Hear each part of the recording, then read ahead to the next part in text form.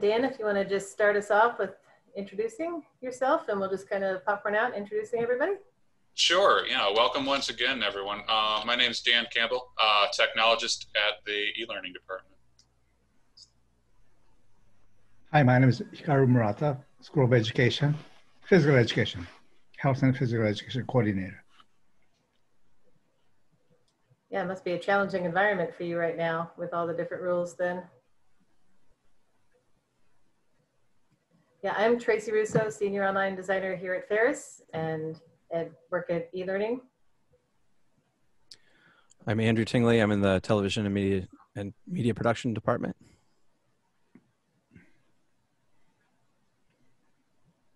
I'm Kelly Sinkowski. I'm also uh, online designer in eLearning. Hi all, I'm Ann Breitenwisher, Research and Instruction from um, Information Access Discovery Library. Hi everybody, uh, my name is Andrew Wiltshire. I'm faculty in Mechanical Engineering Technology. Hi, I'm Leslie Sukup, and I am a professor in the management department within the College of Business. Uh, and I'm Julie Rowan, and I work in the Faculty Center for Teaching and Learning. We've got a wide spectrum today, so it ought to be some really good conversations about how to go about connecting our classrooms with some of these different areas. I am going to go ahead and share my screen, and do feel free at any time to interrupt me, popcorn out an idea, suggestion. I will be stopping for you know questions and feedback and things that you may have done that you want to offer the group. You can also feel free at any time again to use the chat. Um, you know, I encourage that type of interaction. You know, at no point in time does this belong to me where no one there's anything sacred. This is a you know, for faculty by all of us together to improve teaching. So I look forward to everybody's contributions to make this work and to, again, just bring another good semester here to everyone at Ferris. So I'm going to share my screen and find the right tab. And this is, some of you, um, I don't think anyone has been to any of our other ones. So this is actually the third session in a series that we're recording about launching your successful semester. And so there is a lot, you know, in this, all these recordings, as Dan said, they will be available both individually and then we have them all in a playlist. So if you were not able to come to any, you should be able to view all the playlists as well as get the you know, the PowerPoints in isolation. The, in all the PowerPoints, any of the links, we're making sure that by the time we share it out publicly, all the links are there. So anything we talk about or mention, you should be able to access later. So, you know, again, in the online environment, you don't also have to try and figure out on taking notes. Does everyone see the slide launching your successful semester? Wonderful. And today's focus, you know, is the connected classroom. Julie mentioned that she really liked our sustainable ecosystem graphic that I had selected this summer when her and I did a workshop together. Um, in each of these sessions, I've kind of chosen a metaphor to just frame our thinking because I find that very helpful when we're trying to look at a holistic picture of our teaching. And so in this one, I actually took the idea of the ecosystem and put it in a tapestry because one of the things with creating a connected classroom is that um, relationship between you know every individual part in it in order for the whole to be effective and to thrive and to be sustainable each individual piece needs not only to be included but also connected in a way that it cannot be pulled out or separated or isolated from the whole. So for those of you who were not here in the last two yesterday we talked about um, different ways to communicate with our classroom and to set it up. And the metaphor was the maze. And then in the first one, when we were talking about the considerations um, of the classroom, the metaphor, you know, as far as what you need to prepare ahead of time, the metaphor was getting on a ship and making sure you have everything ahead of time. So in today's session, we're going to just talk about ways to create a connected classroom environment with interactive assignments, technology integration, student integration, or student engagement and embracing online assignments, And we're going to do this. I have some examples to share, some things to think about, and then a lot of it will be, you know, sharing some discussion and other ideas. So, any questions before I move on? You can absolutely just popcorn out anything. So, I really wanted to start with talking about the importance and why. And I don't want to spend a ton of time, but I just wanted to hear from everybody. And again, whether you choose to put something in the chat or if you choose to just popcorn out, let's just look at a face-to-face classroom. And this is just a random classroom through the, you know, royalty-free Google search that I picked. But what do we see in this classroom with connections as well as boundaries? What kind of connections might you observe here or what kind of boundaries?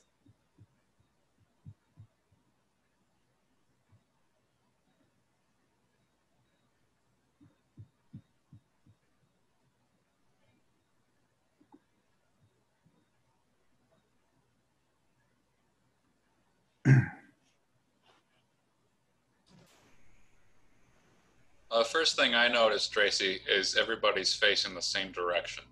Uh, which could serve to uh, limit the students' abilities to interact with each other. Yeah, I have to agree with him. Well, looks like it's uh, passive learning. Looks like.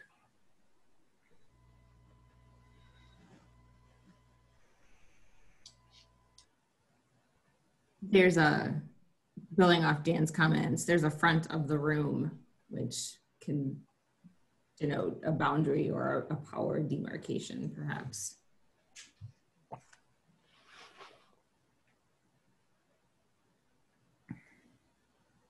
Yeah, interestingly, I tried to find a picture that had more of a group setting, but I couldn't find one um, without spending way too much time on that. So that's interesting that two of you picked up on, you know, that more passive learning style with this. But but even so, you know, with passive learning, some of the things with the connections. So you're right, in this, one would assume that the connection between instructor and students is probably the one being most promoted. But you can also look and see, one of the things that I observed when I was looking at this image was that the tables were in pairs. So it's implied to me that they might do some partner work at other times. And I like how Dan said they're all facing in the same direction, which in one sense can be a negative in terms of you know, potentially being more passive. But on the other hand, it can be potentially a benefit because when we're thinking about other types of learning, you know, it's really important for students to know what direction they're going in in order to get to the end successfully. One of the boundaries that the physical classroom has, which may seem very minimal, but in reality it can be a big boundary, again, for good or for bad, depending on how it's used, but it is in a classroom. So the number of interactions that people are doing or need to worry about at that moment in time, it is limited to the people in their sphere of influence, which kind of relates back to when we were talking about kids and dogs. You know, that's something that in face to face, it's easier to be more focused on your learning because these other aspects are removed. All right, trying to find my I moved my cursor off screen there. So when we look at an online student, same questions. What connections do you observe? What boundaries? What might this have to do with learning?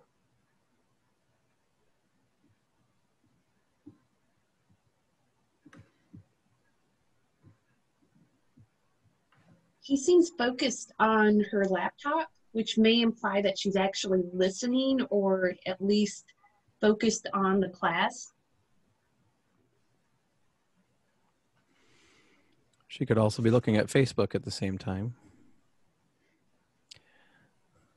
So unless she has her camera on, the instructor might not know if she's, you know, giving some kind of attention.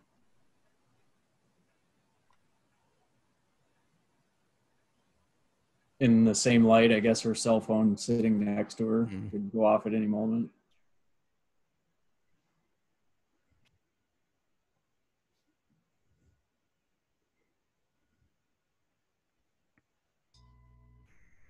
Piggybacking on the last thing you said, Tracy, it does look like she might be in a room by herself uh, with with minimal other distractions. So that could be a good thing.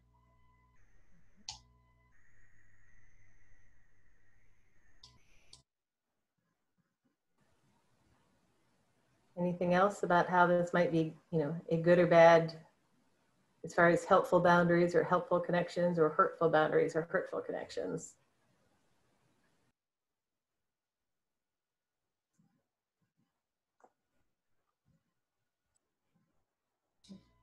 I see what looks like a wired internet connection, which which is always nice to see. No sketchy Wi-Fi. Yeah. yeah, it's interesting because you know if you if we go back to the slide before and we look at this classroom, if we think about a student who might not have observed or heard what a, the faculty member said, you know, they can look and there's, you know, there's a screen, so hopefully they can see notes or they could look at their partner or someone around them or ask somebody around them. So there's a lot of other connections. And when we look at this, it's, I'm glad that Dan did point out the courts because I wondered if anybody would notice that because it is all of a sudden we're connected by a cord. That's really the only physical connection at this time that we know.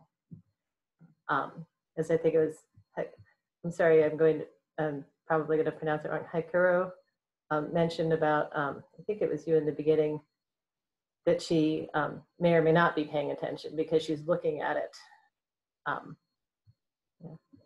So Dan brought up that it could be a good thing that she's alone in the room but based on what you've been hearing and seeing in the last you know nine ten months since the covid shift is being alone in a room a good thing for most people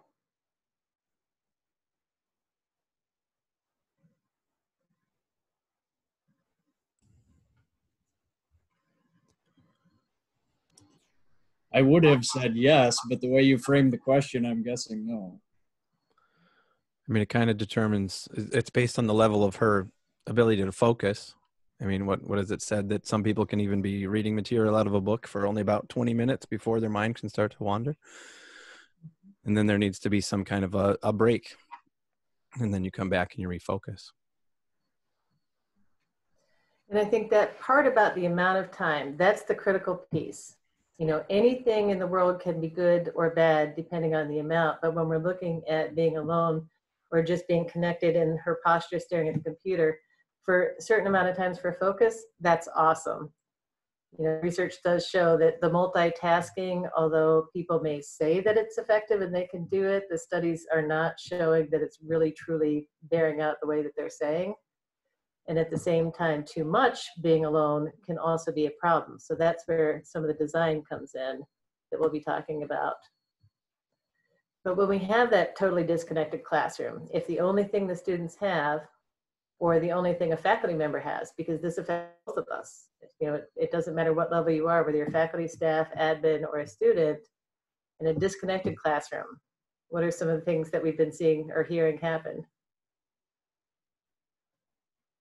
Yeah. If you want, you can just use use a reaction or raise your hand. How many or popcorn out? How many people have heard stories about people ghosting?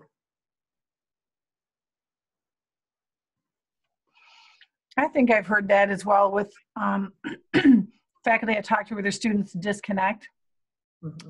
Um, but like you were saying in the last slide, if they're sitting in a room by themselves all the time, if they're working by themselves without interaction, then I think that you can get very disconnected. But if they have some kind of interactions happening with other students or group projects, I think then they won't feel so disconnected. But if not, then that's, that can be a problem. Yeah, the ghosting or the disappearing in every session Dan and I have done this week, and I think this is session five, we've had people talk about what do I do when it starts out great everybody's showing up, and then partway down the road, all of a sudden I don't get as good attendance, or I'm talking to players and they're not, I don't know if they're there. And that is a real phenomenon of um, you know lack of interaction and again in the disconnection that people feel where they're not feeling able to you know be as connected. The image on the right I chose because statistically prior to this, the National Alliance for Mental Health Institute, um, prior to this, the statistic was something around 25% of all college students were cons- reported suffering from, you know, a mental they, during their time of college, they had some type of experience with, you know, mental illness or depression, anxiety, and those types of things.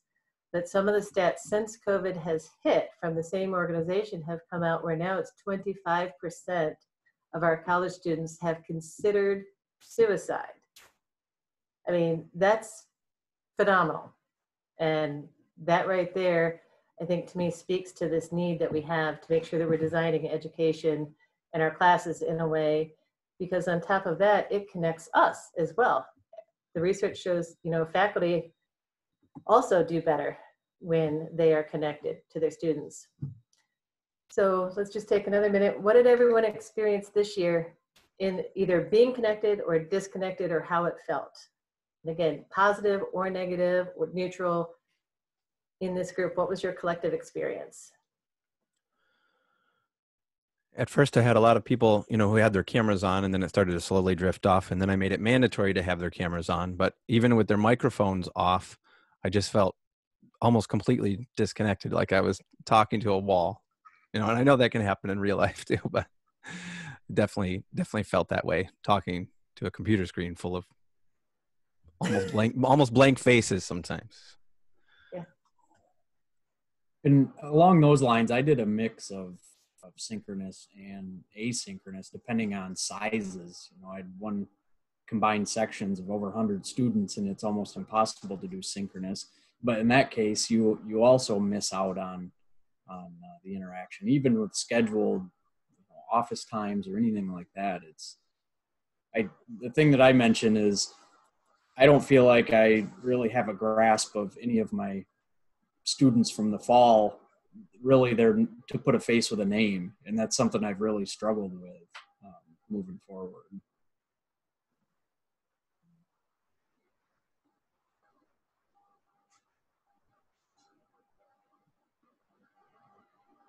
Anyone else like to chime in on something either similar or different that they experienced?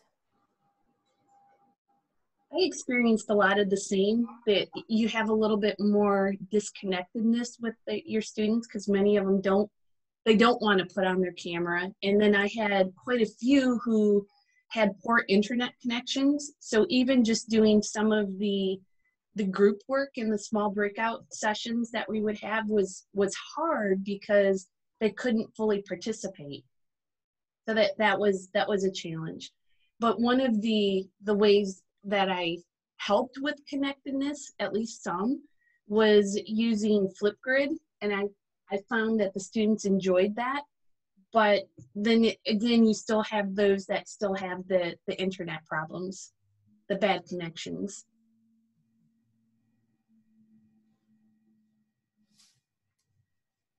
Caro, you are muted. Can you unmute yourself to speak?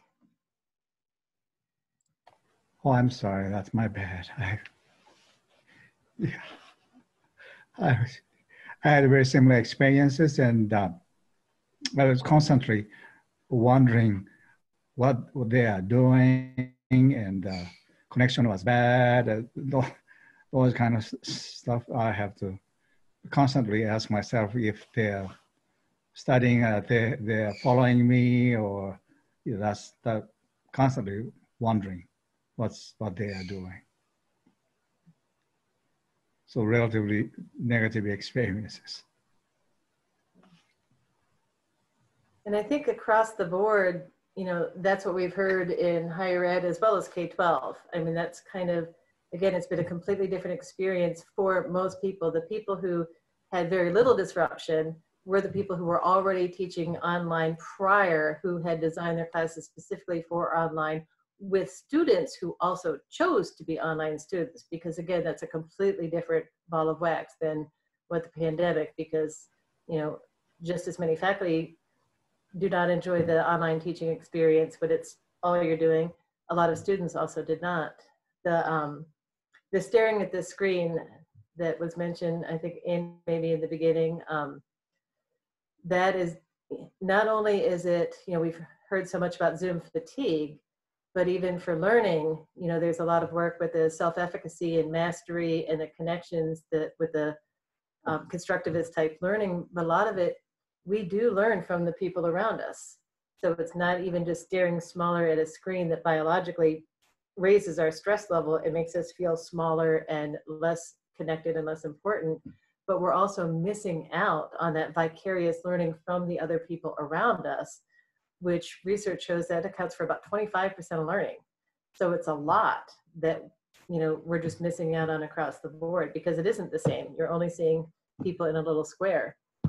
So fortunately, there are things we can do differently. And part of it just involves kind of some different ways of thinking about online learning. And some of it is thinking of replacing not the exact activity that we did when we were fully online, but replacing the type of function and the type of connection that it had. So this is a slide from Julie and I, one of our presentations this summer, and looking at how do we create these connections, thinking back to that ecosystem metaphor and the tapestry of weaving everything together so that it's not just you know a connection between the student and the laptop with the squares you know the little zoom squares or the team squares and the same thing for faculty with squares it's looking at the five different types of interactions so creating in the interactions with instructor self peers world and content so for some of this I'm going to kind of um, go quickly because I think most people are very familiar with the types of interaction, for example, between student and content. I mean, that's something as faculty in higher ed, most people are fairly confident with, you know, the students can learn from the books, from the web, from different things. But it's these other aspects that embracing that, so when we're all in this, you know, pandemic, less physically connected world, honing in on ways that we can use these to create connections. So when Kelly and I in particular work with people on the CDA process, one of the things that we have them do is look at their current course. You know, what does a week look like? Who are, you know, what are all the different types of connections that the students are having and that you're having?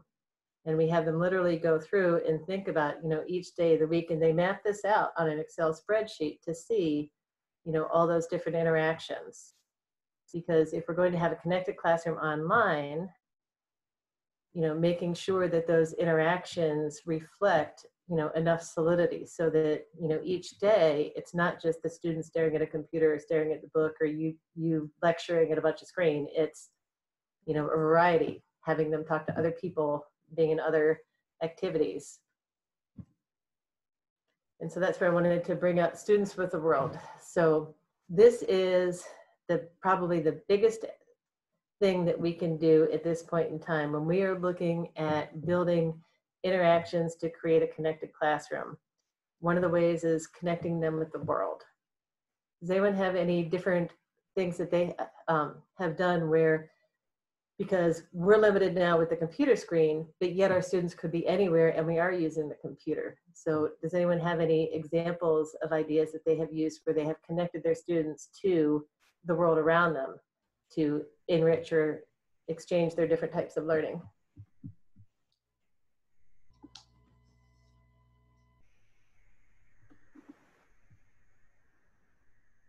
The photo there, Tracy, actually reminds me of an assignment I had in Boston uh, when I was there for my doctoral program. We had to go out into the city and take photos of um, examples of communication we could find that are just kind of hidden in plain sight. Um, one good example is around the outer perimeter of uh, the campus of Northeastern uh, the sidewalk is a different color. Uh, so you know that if you cross it, you are on campus. That's um, cool. Yeah, really cool assignment. Uh, yeah. What other things have uh, folks uh, come across? I know one of the assignments that one of my pre-service teachers when I was at GVSU created is a physical um, physical education experience. And they had their students they had to go outside. Again it goes back to using the cell phones because um, i think 99% of society at this point in time in our age range when we're looking at 16 and up minimum um, has a cell phone. And so the assignment was they had to create a fitness plan or a fitness you know like a fitness path. They could do it for whatever grade level and community but using things in the community so they some of them chose to map, you know, like the different walking routes. Other ones mapped parks where they had exercise equipment and things like that. And then they put it together. And this was, I don't know, four years ago, but they put it together in, it was a presentation that was hosted online. So then anybody could click on the dot on the map and find, oh, I want to go get fit in this area.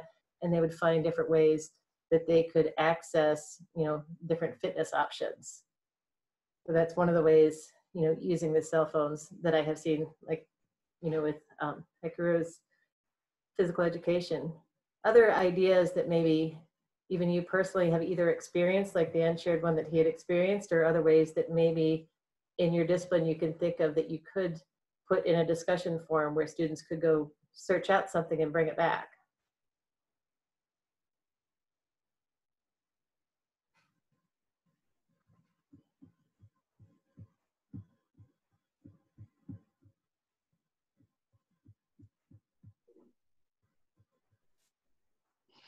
I can add in here um, while people are thinking about it.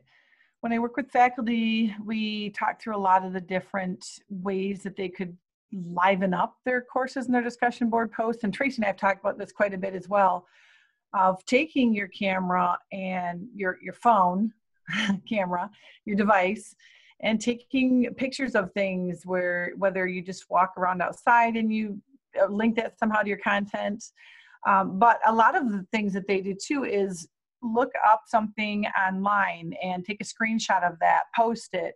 It could be a picture, it could be a video snippet um, from a movie. It could be anything like that where you're relating it back to the content, but it's it's um, learning outside of your course content. So anything where they can apply what they're learning, whether it's a relevancy piece and they go find a job posting anywhere on the internet for whatever skill they're going to learn in your course so that they see it as a relevant piece that it that's something an employer will look for later. Whether it's a scenario or a news story that involved your content just anything where they can um, post a link to a video or a screenshot of something that they can put in a discussion board and then learn from each other and then bounce off posting um, responses to each other. So i've seen a lot of that and I really like how Kelly brought in the discussion board because that's what I wanted to bring in. Part of this, one of the easiest ways to do this type of activity in your classroom is through just simple discussion board use. Discussion board students are familiar with doing them from if they use Blackboard, but even in K-12, even before COVID, many K-12s were using discussions in various formats. And so the concept of discussing is, again, it's not new, so it's you know, one of those easy things to implement where you can add a discussion forum and with the directions where you're having them go seek out something. You know, again, whether they're seeking something on the web or they're seeking something in their environment, all of a sudden you've done, going back to the connected classroom, you've connected them with their own environment. They could even interview people that are in their realm of influence. So you've got all of a sudden they can connect with people, events, you know, turf samples, and architecture, films, a million different things. But when they post that live stuff back in the discussion board, and then you have them compare, contrast, you know, there's so many higher ed thinking skills you could, you know, throw in with that with just the basic gen ed skills. Now they're connected with each other around something of substance, as well as in, you know, from the teaching standpoint, if you put in that simple prompt of, you know, go find something out in, say, the world and you have them use a piece of criteria or compare it to something in your content then all this and then they're discussing it. So you've got them connected both to the content because you give them the criteria and to the world and to each other with something meaningful that they would not be getting if they were in that classroom that picture in the front where they're all looking at the instructor. So now all of a sudden you don't have to be the one even creating all these connections. You just have to ask a good question in the discussion board those are, you know, especially even the interviews is one of the ways because people can interview now because everybody's online and things have moved virtually. There are free resources everywhere, you know, if they just search on the title. So, Well, I mean, whoop, sorry. go ahead. No. Oh, the earlier question about using their cell phones as a as an option, um, I saw a lot of benefit. I, I teach the senior design project uh, for our program, and rather than have them type traditional status update memos, you know, that would have been the historical way of doing it. That they can use their phone and, and do an interactive, uh, just update, a status update using the phone, recording a short video um, and that seemed to work really well. They they like that better than scheduling a, a few minutes to to update me personally, and it's convenient for everybody that way. That's a great idea because well, Canvas discussions, you can have a Canvas discussion or a Canvas assignment. Canvas allows the students to use that video feedback as well as for you. And then Leslie mentioned, um, I think it was Leslie mentioned using Flipgrid. And Flipgrid is another one that's been around for, I'm not sure how many years, but a fair amount of years, at least five or six that I'm aware that it has been mainline in K-12, where people can create um, short videos of themselves. You can create criteria and then they can react to each other's videos. So it's not the same as being there, but it's a lot more interesting than, you know, reading words on the text. And another advantage to like what Andrew was suggesting as far as their status update using video rather than words in video, we speak, you know, the average speaking rate is somewhere in American uh, Midwest English is somewhere around 200 to 250 words per minute. When students are typing, they're typing, especially if they're on a cellular device, unless they have been in business and taken typing classes, you're looking at more like 34 words per minute. So the amount of time just by giving a spoken recorded update, it's so much faster and so much more natural for us to do it that way. And then another piece going back to that connection with that is you get the person's personality. You get how do they sound? Do they sound upbeat? Do they sound, you know, excited about the subject? Or, you know, you get those different personality pieces that can come through as well.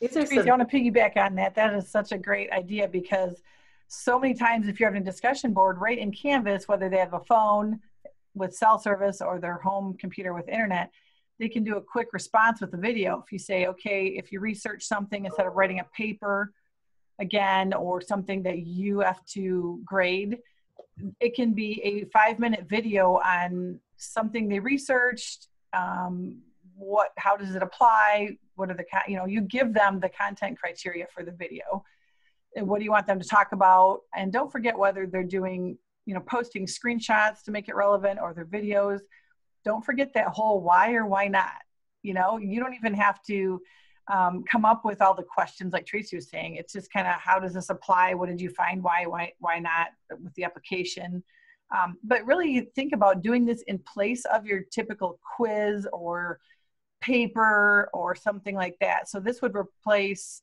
say chapter questions or something like that. This is them applying what they've learned instead of just kicking back and out of memory what they've learned.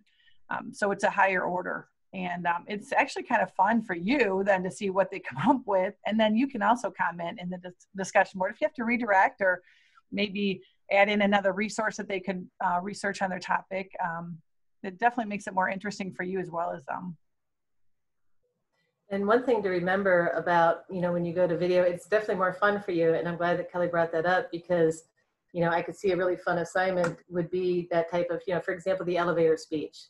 You know, give an elevator speech on chapters 13 and 14. And so you only have two minutes to do that. And then you can have them work in small groups even to say, okay, of those elevator speeches, which one most accurately reflects the content in those chapters. So again, so a much different aspect of rather than reading a chapter and taking notes and putting a 250 word essay in the discussion, a lot more interesting and engaging. And then again, using things like that discussion board and thinking about the grading of that, if they're doing it individually and coming to terms, coming to consensus as a group, it's smaller, shorter grading for you, but they're still getting a lot of feedback from each other on whether or not they learned. So they've got that connection. Am I in, am I getting from the chapter what my instructor wanted me to get? Because otherwise they don't know. And another part, just one of those preventative, I did not put this on the on the um, slide, but I'm going to add that back. And I've got some other links that I'll add for some resources for this.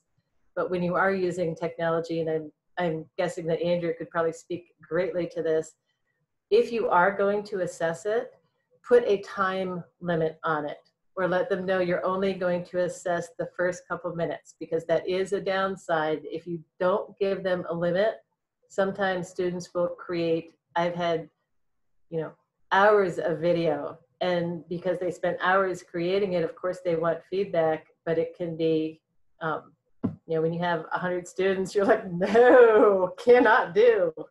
So putting those time constraints on it. Excellent. That's an excellent bit. Thank you for that. And yeah. you think about just like the papers, you, if you don't put a limit, say you want three to five page paper, you're going to get 25 pages that you have to look through. So it's the same, you know, and that's a good point, Tracy. Make sure you have some of those parameters for yourself as well as for them. Yeah, that's another reason why I am a proponent of using for a lot of these things, use those discussion boards. They will want to see each other's because that brings them that vicarious learning. Then they can see, well, how do other people see it? How do they understand it? Am I getting it the same way? You know, if they're not used to being you know, doing video of any kind, you know, again, make sure it's low stakes and let them know you're not, What I used to teach pre-service teachers, I would tell them, I'm not grading you on your graphic design skills because this is not a class for graphic design. I am grading you on your ability to communicate the topic. And so, because that is a, an essential role for a classroom teacher. And so, you know, with those start with low stakes so that they're comfortable, but they'll watch each other. And so they get that, then they do that self assessment while they're watching, they're doing the peer assessment. And the other great thing about that is then even going back to that grading thing, because almost every single faculty member and teacher that I know is still recovering from grading fatigue from last semester. If you use it in a discussion board, another piece that I recommend when you're doing, again, creating those connections. But so then you, rather than give each person individual feedback, which takes forever if you're going to give quality feedback, go ahead and kind of sum it up in one consensus building post. Wow, these videos were great. I noticed that everybody pointed out the essential topics of the chapter, blah, blah, blah.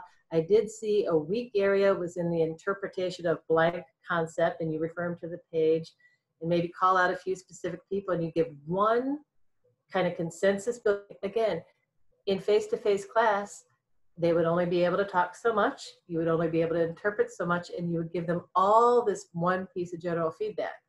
So take the load off of yourself, but you're still connected because in the discussion board, they can all see it and they all can hear it. In the media, you know, bringing that media again, it's, you know, it's the best recreation of life at this time that we can have, but it's also a wonderful creative outlet. You know, if you don't believe that media can be creative, just go play on TikTok um, for starters. You know, again, it does not have to be fancy.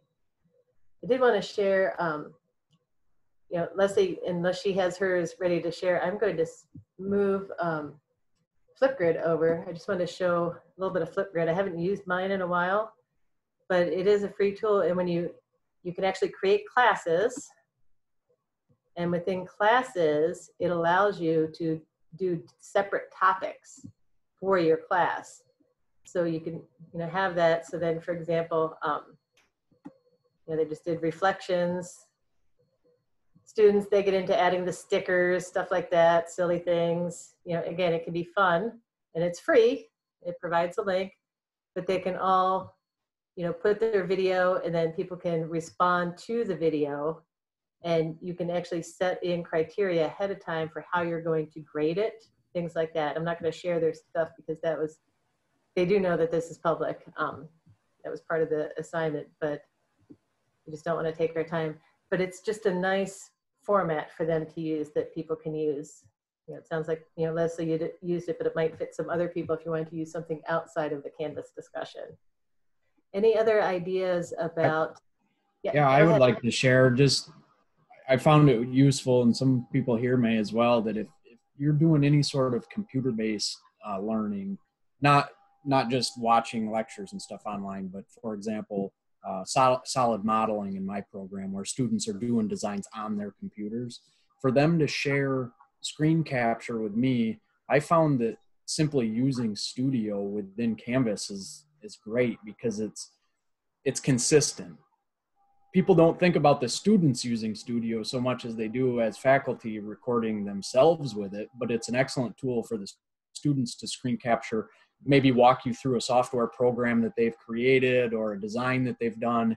Um, and it turns out excellent quality and it, of course embeds so easily within Canvas. You don't have to worry about well, for this student, I have to click a Zoom link, and for another one, I've got to do Teams or who knows what else. You know, it just keeps a consistency that works well. Andrew, I'm curious, how uh, did your students find it pretty easy to learn Studio? Yeah, I, I posted a short video of myself doing one to kind of introduce it to them, but it was no problem at all. That's great to hear. Yeah, and that's brings up some other great points when you're again using technology to connect your students through various ways and using video. Um, you know i put up here structure the task not the result of the task. You know that allows them with more creativity. But along with that i like how andrew said first of all he used a tool that he knows is on you know is within canvas so it's got consistency. Another advantage to having that and he made a screencast so he gave the directions on how to use that tool.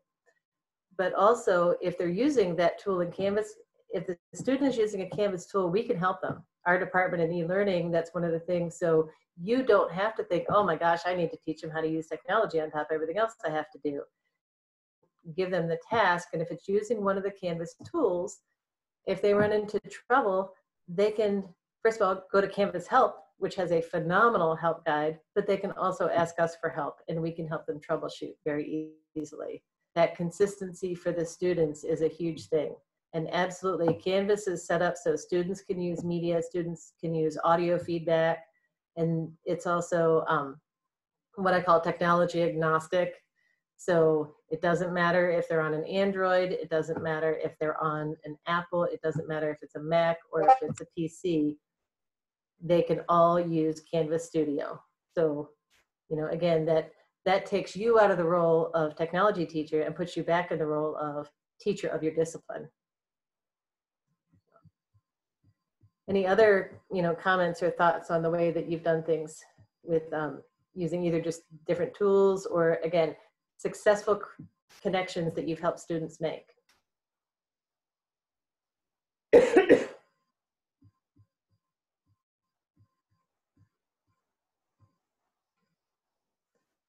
I put the link to this um, online group work assignments, and I'm not going to go to this, but that'll be shared in the presentation. But I did want to bring up that the structuring online group assignments, you know, that is something with our scaffolding. That's one of the best ways, again, to create those connections.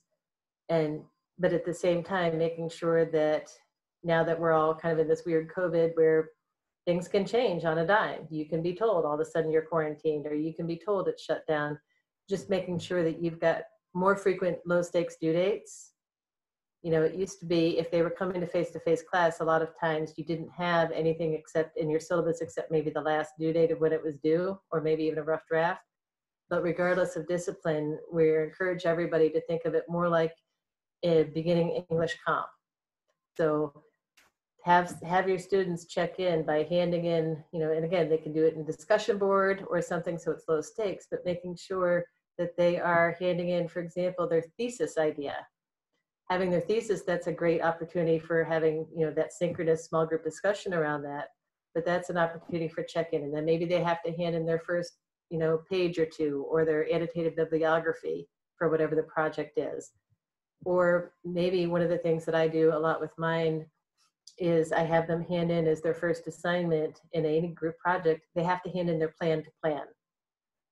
So that I know that they have met with their group members, they know who their group members are, and they have developed a system that then you know i'm not going to get that last minute well none of my group members participated and i don't know who they are and they never responded no we've got the plan to plan in the beginning so then i have time and the group members have time to address situations before they come up so that's another you know way with the group work just to make sure that you are creating those connections for your students.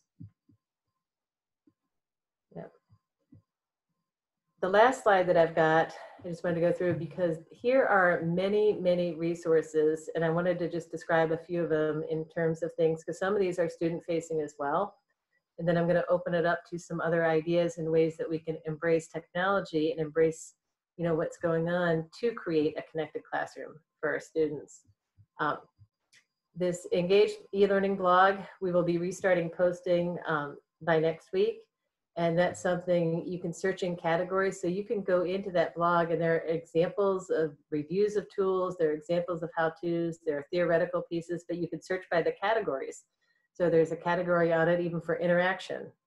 So you know within that you can hear a wide variety and in a lot of the blogs we try and either connect it to the research or to other faculty members so that you would know who else you could contact among the faculty who maybe has done that before because i find that's always very helpful even again for faculty, it's as important for you to be connected to each other as it is for the students in the class.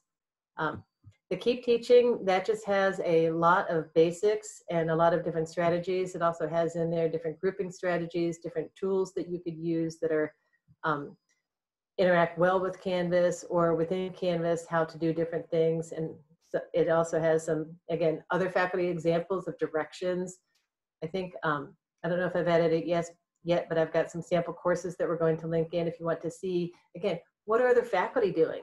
It's, we're just like our students. We want to know what other people are doing. So you can go to that resource. This Keep Learning is a piece for your students where you can share that with them and help them get connected. You know, the faculty guide was created in the fall, so that has just kind of a lot of ideas. Um, the first 10 slides of that are all different faculty strategies for how they've connected their students in different ways they've taught with their students. And then these are just some other pieces that are more like how-to focused. And so with that, I'm just going to, um, and you've already found us here, but I'm going to exit the screen share because I just want us to go ahead and talk about any other ways or ideas as far as how we can use Canvas or use any other tools to connect our students so that this semester is going to be, it may not be the same as spring last year. Well, actually spring last year is not a fair comparison. It may not be the way that we originally pictured our teaching was going to be, but it can be some really phenomenal teaching. It just, it's gonna be different.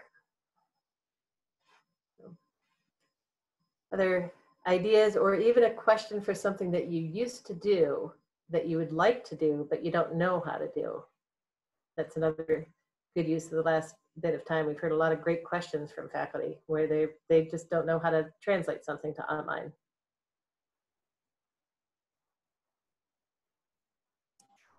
For me personally, the biggest struggle is uh, lab exercises. Um, without a doubt, I, I've I feel like I've become much better as an online instructor in terms of lecture, but um, and when we have a plan for it, it's fine. But for example, in the fall when we shut down early and you have things planned where maybe your labs are still meeting face to face and all of a sudden you cannot, you know, and that's the risk for me in the spring is that if, if we if we get a, a mandatory, hey, you got to stay at home, I can transition the lecture just fine, but the lab is always such a challenge. yeah. One of the, I think it was in nursing or informatics, um, bottom line, they had clinical rotations that came to one of our earlier sessions. And what they did, which they said they were very glad that they did, they basically front loaded all of the most important hands-on things that they had to do so that that way they figured they would get them in while people were there. And so when we did get the shift to remote, it wasn't quite as awfully bad as, as it could have been. Yeah. And so I think that's, that's one of the things um, that all of us right now, when we simply don't have control over that part.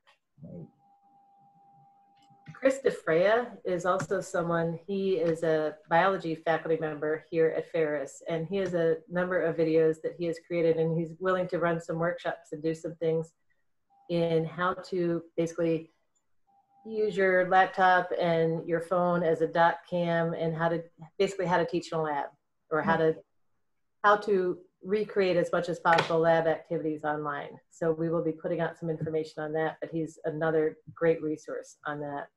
Yeah, I'd like to see some creative ideas. We've done some things such as, you know, the faculty actually conduct the experiment and, you know, record what's going on so the students at least have an understanding and then have them maybe calculate with the numbers that you generated or whatever it may be. But, you know, based on SAIs and things of that nature, that's probably the strongest bit of feedback that, that myself and I think other faculty in my area have, have had.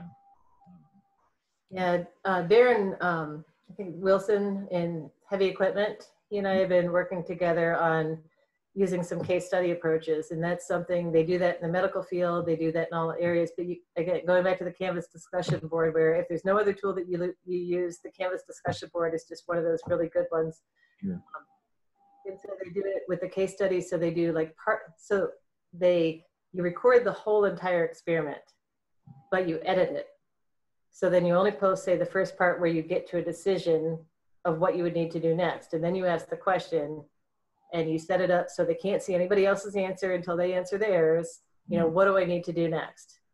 And then you give them the depending on their answer you can give them the reteaching or you can give them the great job or both and then you give them the next bit and kind of scaffold them that way. Okay. And he's now thinking about having them create yeah. you know, their videos as well for the same thing kind of a side question off from that is there any training specifically on editing canvas or studio video content? That is a great question. I know that i have done training in the past. I haven't done it recently but that is something that um, dan and i can add to our list of trainings to offer. And then also i can see if chris already has some trainings made. Because yeah don't want to get sucked in too much. I can tell you that it's um,